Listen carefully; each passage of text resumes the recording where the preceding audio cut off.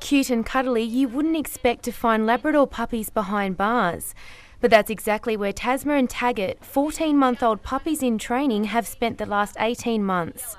As part of the Darling Downs Correctional Centre Pups in Prison program, they swapped their L plates for Ps today as they graduated to training dogs for Assistance Dogs Australia.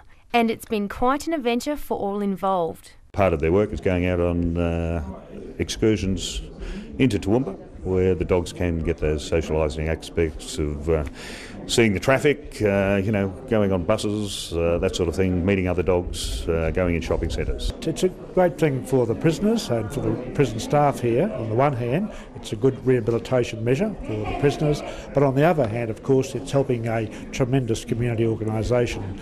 The pups are now equipped with important skills to assist the disabled and can even help undo shoelaces.